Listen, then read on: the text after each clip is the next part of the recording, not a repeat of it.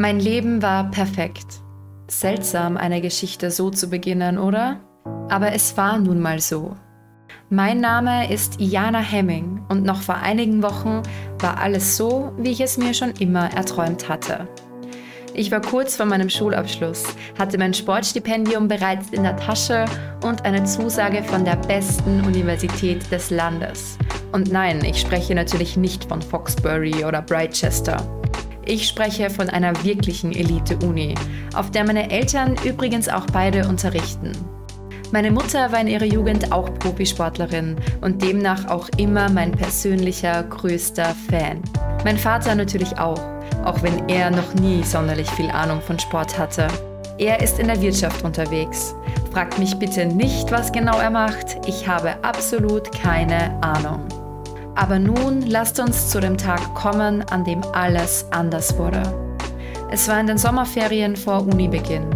Als ich nach dem Abendessen laufen gehen wollte, weiß ich noch, wie mein Vater sagte, dass er nicht möchte, dass ich so spät alleine draußen bin.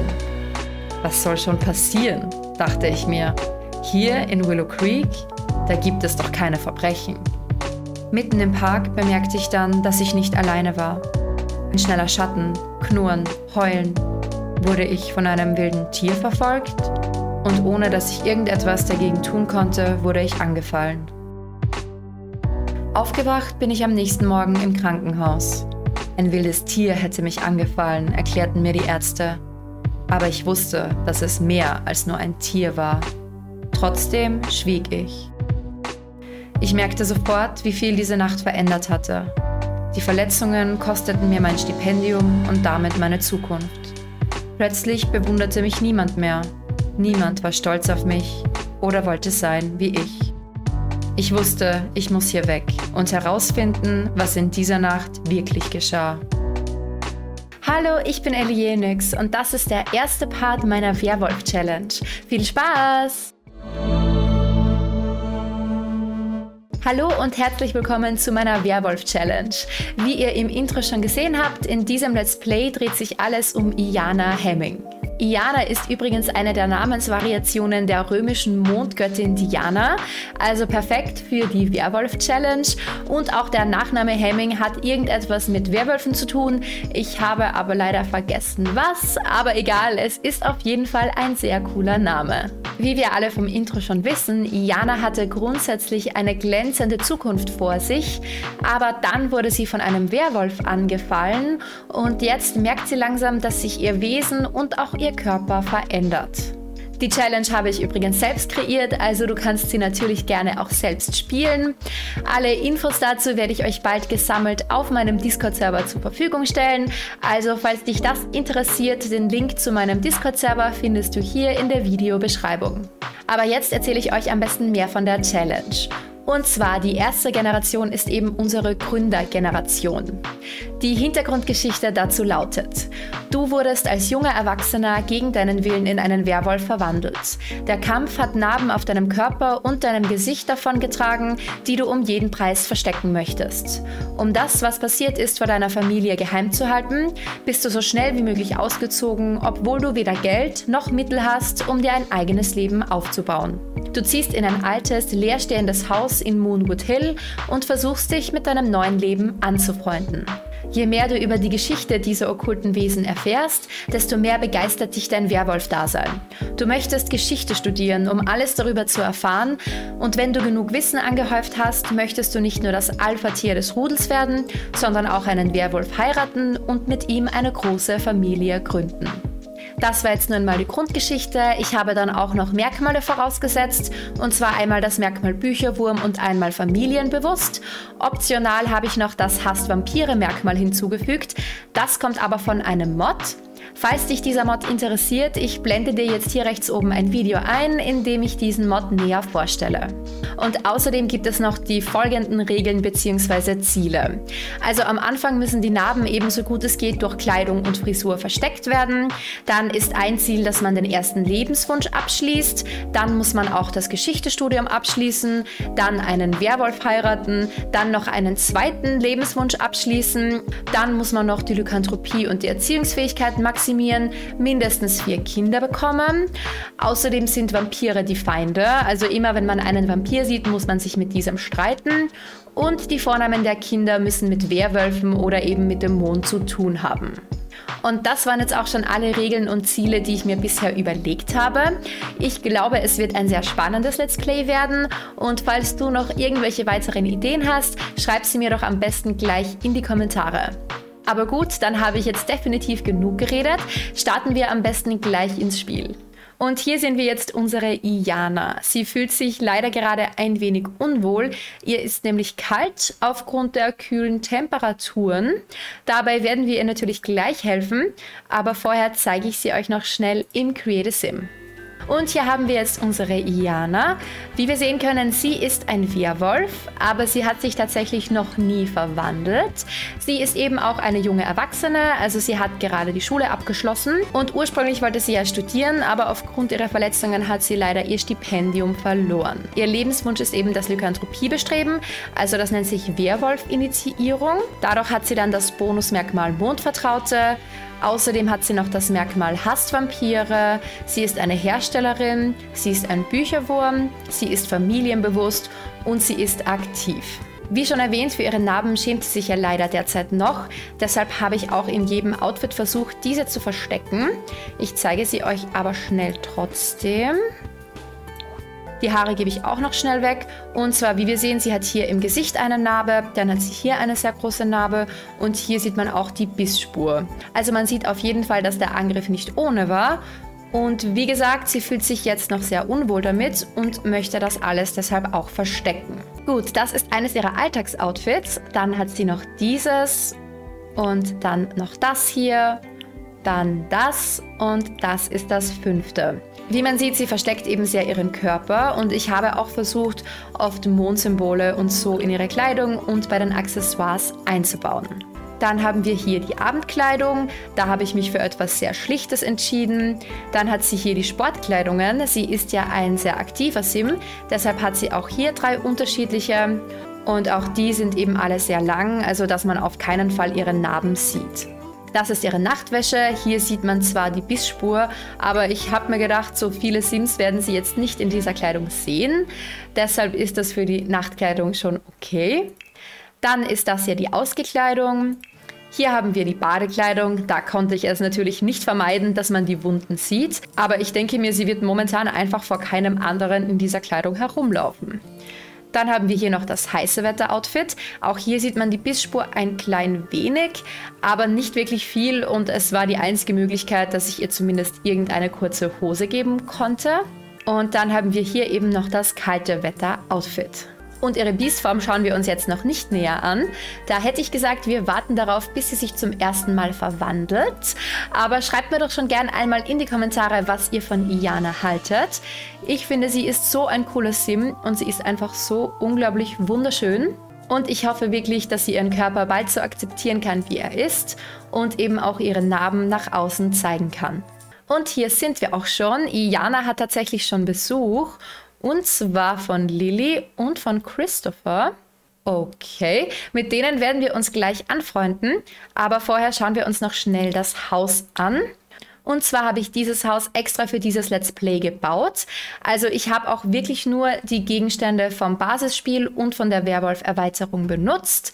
Ich habe es auch schon in der Galerie hochgeladen und zwar lautet meine EA-ID Alienix, also genau wie hier. Und dann könnt ihr es gerne runterladen und die Challenge dann auch in diesem Haus spielen. Und wie schon erwähnt, Iana hat absolut kein Geld und das Haus ist auch noch absolut leer. Also haben wir wieder eine kleine Rex to Riches Challenge dabei. Aber gut, stellen wir uns einmal bei den Nachbarn vor. Stellen wir uns einmal freundlich bei Lilly vor und dann einmal noch bei Christopher. Teil der Regeln ist es ja auch, dass wir früher oder später einen Werwolf heiraten. Das heißt, wir sollten uns auf jeden Fall mit allen Nachbarn hier anfreunden. Und vielleicht finden wir dann ja bald gleich auch mal einen, der gut passt. Ihr ist noch immer kalt, dann sollte sie jetzt am besten gleich einmal ihr Winteroutfit anziehen. Sehr gut. Hoffentlich ist er gleich nicht mehr kalt. Und dann, ja, okay, werden wir sie hereinbitten, auch wenn in unserem Haus ja eigentlich gar nichts ist. Dann werden wir uns noch ein wenig mit Christopher unterhalten. Wir können Fotos teilen und einfach von unserer Jugend erzählen und erzählen, dass wir eigentlich Sport studieren wollten.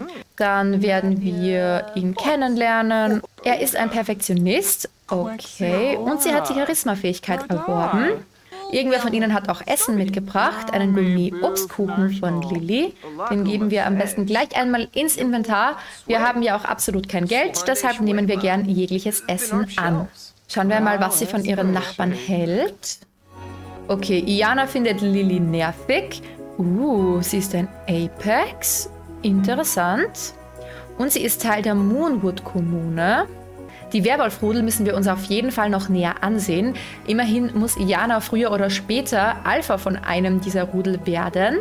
Von den Rudeln habe ich ehrlich gesagt noch nicht so viel Ahnung. Also wenn du mehr darüber Bescheid weißt und jetzt schon weißt, in welches Rudel Iana am besten gehen sollte, schreib mir doch auch das gerne in die Kommentare. Aber gut, was hält sie von Christopher? Sie findet, er ist verantwortungsvoll und er findet aber, dass sie im Traumland ist. Okay. Auch er ist Apex und auch er ist bei der Moonwood-Kommune. Okay, gut zu wissen. Aber dann lassen wir die beiden am besten in Ruhe und schauen uns ein wenig in der Stadt um. Das ist eben Moonwood Mill und diese Welt kommt eben mit der Werwolf-Erweiterung. Ich habe auch die meisten Grundstücke ehrlich gesagt so gelassen, wie sie waren. Und zwar hier hinten wohnt die Familie Volkov. Dann haben wir hier noch die Bibliothek von Moonwood Mill und hier haben wir noch eine Bar. Hinzugefügt habe ich noch dieses Restaurant und zwar ist das das Diner aus Stranger Things. Ich habe nämlich gerade wieder mit der Serie angefangen und dann zufällig das in der Galerie entdeckt und ich finde, es sieht absolut großartig aus. Und dann hätte ich gesagt, reisen wir auch gleich einmal hier hin. Auch wenn wir zwar noch kein Geld haben, um etwas zu essen zu bestellen, vielleicht können wir ja irgendwelche anderen Sims hier kennenlernen. Und hier sind wir auch schon und es sind tatsächlich jede Menge anderer Sims hier. Wir haben Eric Lewis, der Kellner. Cameron Fletcher ist der Koch. Dann haben wir Paolo Rocker als Empfangsherr und jede Menge anderer Sims. Oh, sogar Lavina ist da, die Ortsbürgermeisterin. Okay, seltsam, dass das hier auch steht. Sie ist ja nur die Ortsbürgermeisterin von Hanford und Bagley und dort sind wir gerade definitiv nicht. Aber egal. Ich zeige euch noch ganz kurz das Restaurant, weil ich es wirklich absolut großartig finde. Also ich liebe alles daran. Das Einzige, was ich geändert habe, ich habe hier eine von diesen Mülltonnen hinzugefügt, damit wir früher oder später im Müll wühlen können. Ich möchte in dieser Challenge nämlich keinen Garten anlegen oder sonst auf irgendeine Art und Weise schnell Geld verdienen, sondern ich möchte, dass sie hauptsächlich im Müll wühlt, um eben Essen oder Einrichtung zu finden. Aber natürlich ist der Container jetzt noch leer, also wir können weder nach Einrichtung noch nach Müll wühlen. Das heißt, wir müssen wohl ein wenig warten. Stellen wir uns einfach bei irgendjemandem vor. Dominik, stellen wir uns einfach mal bei dir vor. Wir können sogar schnüffeln und vorstellen, aber das werde ich jetzt noch nicht machen. Ich glaube nämlich, dass sie sich eben noch nicht so wohl damit fühlt, dass sie ein Werwolf ist. Also beziehungsweise sie fühlt sich noch überhaupt nicht wohl damit. Und deshalb werde ich das alles jetzt einfach mal ignorieren. Gut, dann werden wir Fotos mit ihm teilen. Also als Mann von uns kommt er sowieso nicht in Frage, weil ich glaube nicht, dass er auch ein Werwolf ist. Aber egal, erzählen wir ihm dann einfach einen Witz. Wir erzählen jetzt eine lustige Geschichte und dann machen wir noch einen Witz über Professoren. Warum auch immer. Okay, ich hoffe, dieses Restaurant ist nicht verbuggt. Ich hoffe, die stehen nur zum Spaß draußen. Okay, nein, wir benötigen eine Stiege. Das hätte ich eigentlich sehen können. Das wird dadurch jetzt sicher unglaublich hässlich, aber irgendwie müssen sie da ja hineinkommen. Okay. Es sieht jetzt tatsächlich nur mehr halb so cool aus. Aber perfekt, jetzt funktioniert zumindest alles. Oh, und jetzt können wir hier auch nach Einrichtung wühlen. Perfekt. Hoffentlich finden wir gleich irgendetwas Brauchbares. Und sie taucht in die Mülltonne ein. Und wir haben etwas gefunden. Jetzt wird es bunt. Jana hat einen besonderen Farbstoff in den Tiefen des Müllcontainers gefunden. Sieh im Inventar von Iana nach. Also wir haben einen Farbstoff gefunden, den wir nicht verkaufen können. Okay, das hat uns dann tatsächlich nichts gebracht. Kann mir irgendwer von euch sagen, was ich mit diesem Farbstoff machen kann? Ich habe absolut keine Ahnung. Man liebt oder hasst sie. Diese Farbe sieht aus, als hätte man sie aus dem Müll gezogen. Okay, keine Ahnung, aber weiter geht's. Und sie hat noch einen Farbstoff gefunden. Okay, Leute, bitte sagt mir, was ich damit machen kann. Und jetzt hat sie Recyclingmaterial gefunden. Ja, das war tatsächlich gar nicht so erfolgreich. Gut, jetzt fühlt sie sich wütend und möchte die Mülltonne umtreten. Ich muss überwintern wegen Werwolf naturell. Iana möchte sich zusammenrollen und stundenlang schlafen. Ansonsten wird sie ein wenig griescremig. Okay.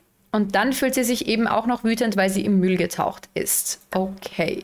Aber sie fühlt sich auch glücklich, weil sie eine tolle Zeit im Regen hat. Alles klar, Iana, du bist ein merkwürdiger Sim. Wir haben jetzt übrigens gerade zunehmenden Sichelmond, also bald sollten wir Vollmond haben. Okay, das heißt, am Donnerstag verwandelt sie sich dann zum ersten Mal in einen Werwolf. Das wird dann vermutlich im nächsten oder übernächsten Part der Fall sein. Aber gut, hier gibt es nichts mehr zu holen, schauen wir am besten weiter. Gut, dann schauen wir gleich hier bei der Reißzahnbar und Bunker vorbei, denn auch hier habe ich einige Müllcontainer platziert und vielleicht finden wir hier ein paar bessere Sachen. Und hier sind wir schon und wieder sind hier andere Sims. Oh, da haben wir auch schon den ersten Vampir. Caleb ist hier und mit dem müssen wir uns jetzt leider gleich einmal streiten. Das besagen ja die Regeln. Deshalb werden wir uns gleich grob bei ihm vorstellen. Sorry, Caleb, dass wir so gemein zu dir sein müssen. Und sie hassen sich auch gleich total. Ich glaube, das ist von dem Hass-Vampire-Merkmal. Blutsaugende Idioten. Es ist ein Vampir in der Nähe und Iana ist darüber nicht glücklich. Ja, genau, das kommt eben von dem Merkmal. Und dann werden wir uns jetzt noch schnell mit ihm streiten. Und zwar werden wir ihn beleidigen und dann werden wir seinen Vampirismus beleidigen. Sehr gut. Sie hat auch gleich eine Stimmung mit ihm. Und zwar mögen sich die beiden eben nicht, aber sie findet ihn attraktiv. Sie findet auch, dass er anspruchsvoll ist, aber er findet, dass sie unhöflich ist. Nachvollziehbar, nachdem wir uns grob bei ihm vorgestellt haben. Okay, die beiden sollen jetzt noch ein wenig streiten und dann zeige ich euch in der Zwischenzeit das Grundstück. Das ist eben diese Bar. Das finde ich so unglaublich cool. Das kann man nämlich genauso im Baumodus kaufen und überall hinstellen. Die Barkeeperin ist die Hannah Jacob. Bei der können wir uns dann auch gleich einmal vorstellen. Zumindest wenn sie mit Caleb fertig gestritten hat. Hier haben wir dann auch noch zwei andere Sims, aber bei denen werde ich mich jetzt einmal nicht vorstellen. Okay, hier können wir leider nicht nach Einrichtung wühlen. Genau, hier habe ich auch noch einen Container platziert, aber auch hier können wir leider nicht nach Einrichtung wühlen. Aber egal, dann lernen wir ein wenig Hannah kennen. Kann ja nicht schaden, wenn wir hier Freunde in der Umgebung haben. Wir werden nach ihren Hobbys fragen. Heute ist anscheinend Bärennacht, deshalb sind hier Leute im Bärenkostüm. Finde ich tatsächlich nur mittelnervig. Aber ja. Gut, dann können wir ja auch lustig sein und werden jemanden parodieren und eine lustige Geschichte erzählen. Ich möchte nämlich nicht, dass sie noch wütender wird, sonst verwandelt sie sich bald in einen Werwolf. Und ich möchte eigentlich erst, dass sie sich zu Vollmond das erste Mal verwandelt. Gut, können wir jetzt schon nach Müll tauchen? Ja, gut, dann werden wir hier jetzt nach Einrichtung wühlen. Wir haben genug mit den anderen gequatscht. Schnell, Iana, du musst ein paar gute Sachen finden. Und jetzt fühlt sie sich auch okay. Also sie ist nicht mehr wütend. Sie fühlt sich katharisch von der Grausamkeit, weil Vampir beleidigt hat. Einen Vampir zu beleidigen hat dazu geführt, dass sich Iana innerlich warm und wohlig fühlt. Okay, alles klar. Gut, was findest du diesmal? Sie wird auch gleich belästigt von Daryl Charm und Morgan Amber. Sie hat schon wieder einen Farbstoff gefunden. Was soll ich damit? Aber gut, dann stell dich mal schnell bei ihnen vor. Stell dich lustig bei ihm vor und dann respektvoll bei ihm. Und dann müssen wir aber weiter nach Einrichtung suchen. Mittlerweile stinkt sie auch schon sehr, aber ja. Jana hat folgendes im Müllcontainer gefunden. Oak House Narrow Sink. Uh, das ist sehr gut. Also haben wir ein Waschbecken gefunden. Das können wir auf jeden Fall brauchen. Sie hat einen Esszimmerstuhl gefunden. Auch das ist sehr, sehr gut. Und Recyclingmaterial. Hier haben wir schon wieder einen Vampir. Jetzt ist Flat da. Okay. Dann werden wir uns auch mit ihm ein wenig streiten. Wir werden uns grob vorstellen. Komm, Iana, du musst dich mit einem Vampir streiten. Aber das machst du ja ohnehin sehr gerne. Dann werden wir ihn provozieren. Oh, sie wird immer wütender. Ich habe Angst, dass sie sich bald verwandelt. Dann werden wir ihn anbrüllen. Dann haben wir aber auch schon genug mit ihm gestritten. Wenn ich mich richtig erinnere, gibt es hier unten einen Bunker. Genau. Und hier können wir auch duschen. Und genau das werden wir jetzt machen. Wir werden kalt duschen. Ich hoffe, das hilft dann bei ihrer Wut. Also wie gesagt, das ist eben das Grundstück. Hier haben wir eine Bar. Hier ist noch so ein kleiner Raum. Hier ist eine Toilette. Und hier gibt es dann den Eingang zum Bunker. Und hier unten gibt es auch noch jede Menge Sachen. Also hier kann man eben duschen, auf die Toilette gehen. Man kann sich hier auch etwas zu essen machen. Also eigentlich der perfekte Aufenthaltsort, wenn man noch kein Geld hat. Also ich glaube, wir werden hier sehr, sehr, sehr, sehr viel Zeit verbringen und uns dann hier auch mit anderen Werwölfen anfreunden. Oh, ich sehe gerade, hier kann man sogar schlafen. Das ist wirklich perfekt. Also eigentlich brauchen wir das Haus jetzt noch gar nicht. Und dann werden wir oben noch weiter nach Müll suchen. Also nach Einrichtung im Müll suchen. Das meinte ich. Gut, dann werden wir hier nach Einrichtung wühlen. Und auch hier können wir dann noch nach Einrichtung wühlen. Uh, hier ist ein Werwolf in der Werwolfform. Wer bist du? Wolfgang Wilder. Okay. Ein sehr deutscher Werwolf. Aber leider haben wir gerade keine Zeit. Ich finde das übrigens ein bisschen merkwürdig, dass die Werwölfe Kleidung anhaben. Also schreibt mir am besten in die Kommentare, was ihr davon haltet. Aber ich glaube, ich möchte nicht, dass Iana jemals Kleidung anhat, wenn sie zum Werwolf wird. Das finde ich irgendwie ein wenig merkwürdig. Und Iana taucht gerade schon wieder im Müll. Sie hat diesmal wieder ein Waschbecken gefunden. Und dann jetzt auch noch eine Toilette. Sehr gut. Können wir noch weiter nach Einrichtung wühlen? Irgendein Bär möchte uns nerven. Recyclingmaterial. Ähm, was ist das? Wieder ein Sessel. Okay. Nein, du sollst dich jetzt mit niemandem unterhalten. Okay, dieser Müllcontainer ist leer. Dann werden wir noch hier nach Einrichtung wühlen. Und wieder hat sie Recyclingmaterial gefunden. Und jetzt haben wir einen Fernseher gefunden. Und jetzt wird sie von allen Seiten genervt. Hier haben wir Lou Howell. Dann stellen wir uns auch bei ihm einmal vor. Und zwar werden wir uns respektvoll vorstellen. Okay, Daryl kennen wir schon. Lou sieht echt cool aus freunden wir uns einmal mit Lou an. Ich habe zwar keine Ahnung, wie er als Mensch aussieht, aber ich finde seine Outfits schon sehr, sehr cool. Dann werden wir uns über Vampire beschweren. Ich glaube, das ist etwas, das jeder Werwolf gerne mag. Dann fragen wir ihn mal nach seinen Hobbys. Okay, Lou mag malen nicht, das ist uns eigentlich ziemlich egal. Und Lou ist romantisch. Oh, ich finde ihn super süß. Ich möchte wissen, wie er aussieht. Kann er sich irgendwie wieder zurückverwandeln? Teilen wir dann einmal Fotos mit ihm? Also ich würde ihm gerne sagen, dass er sich zurückverwandeln soll. Okay, nein, gut. Das möchte er anscheinend nicht. Ah, aber er ist bei den Wildfangs anscheinend.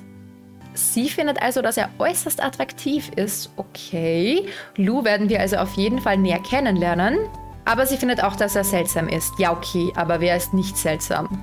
Lou findet, sie ist respektvoll und höflich. Und genau, er ist bei den Wildfangs. Aber gut, dann gehen wir jetzt noch einmal in diesen Bunker, werden noch einmal duschen gehen, da sie die ganze Zeit stinkt, weil sie immer nur im Müll wühlt. Dann werden wir eine schnelle Mahlzeit essen und zwar ein Erdnussbutter-Gelee-Sandwich. Und dann werden wir hier auch gleich schlafen gehen, weil zu Hause haben wir ja noch kein Bett und wenn es hier eines gibt, dann passt das ja perfekt. Jana ist gerade am Schlafen und irgendwie ist sie sehr, sehr wütend. Also ich habe wirklich Angst, dass sie sich bald verwandelt und ihre Wut steigt auch die ganze Zeit an. Und ich weiß wirklich nicht warum. Sie leuchtet mittlerweile auch so rot, aber keine Ahnung, weil eigentlich geht es ihr gut. Also sie hat lecker gegessen. Es gab zwar einen unbehaglichen Kommentar, aber sie hat eine erfrischende Dusche genommen. Und sie ist auch fest am Schlafen, also keine Ahnung, warum ihre Wut die ganze Zeit ansteigt. Aber ich werde sie jetzt gleich einmal aufwecken und dann schauen wir nach Hause sie ist wirklich unglaublich wütend. Also sie leuchtet die ganze Zeit so rot. Oh Gott. Vielleicht verwandelt sie sich doch schon im nächsten Part in einen Werwolf. Wir werden sehen. Aber dann gehen wir jetzt einfach mal nach Hause und schauen ins Haushaltsinventar, was wir verkaufen können, was wir später noch brauchen und wie weit wir einfach bisher schon mit unserer Einrichtung gekommen sind. Gerade haben wir die Meldung bekommen, Iana sollte über ihre weitere Ausbildung nachdenken. Das werden wir auf jeden Fall auch bald machen, also dass wir sie an der Uni einschreiben, weil Teil der Challenge ist es ja, dass wir das Geschichtsstudium abschließen. Und ja, das werden wir dann auch so bald wie möglich angehen. Übrigens ganz kurz an dieser Stelle, wenn dir dieses Video gefällt und du gerne mehr Videos von mir sehen möchtest, dann vergiss nicht, mich zu abonnieren. Auf diesem Kanal kommen mittlerweile nämlich dreimal die Woche Videos über die Sims. Aber gut, dann schauen wir gleich einmal im Haushaltsinventar vorbei. Also, was haben wir bis jetzt? Wir haben einen Fernseher. Okay. Dann haben wir diesen fragwürdigen Stuhl. Eine sehr schmutzige Toilette. Ein Waschbecken, das wir aber wo draufstellen müssten. Das heißt, das verkaufen wir am besten gleich einmal. Und jetzt haben wir schon 315 Simoleons. Dann haben wir noch einen zweiten Stuhl Und dann haben wir auch noch ein zweites Waschbecken. Ja, das können wir dann gleich einmal so stehen lassen. Ich weiß ehrlich gesagt noch überhaupt nicht, was ich wohin stelle. Dann machen wir hier jetzt einmal das Bad. Also ich stelle hier zumindest einmal ein Waschbecken und die Toilette hin. Äh, ich habe mir echt noch gar nichts überlegt. Aber dann werden wir vermutlich hier oben das Schlafzimmer machen. Und dann können wir die Küche ja vielleicht hier hingeben. Dann werde ich jetzt auch hier einmal die zwei Sesseln hinstellen. Und den Fernseher stelle ich dann auch einmal hier auf den Boden. Das alles ist jetzt ganz sicher noch schmutzig und wir müssen das reparieren. Okay, nein, der funktioniert sogar. Das ist auch alles schön. Auch hier könnten wir Kratzer reparieren, aber das ist uns jetzt egal. Das müssen wir reparieren und reinigen und das müssen wir auch reparieren und reinigen. Aber wir müssen tatsächlich gar nichts ersetzen. Das finde ich wirklich super. Dann werden wir das gleich einmal reparieren und putzen. Ich hoffe, das macht sie jetzt nicht wütender.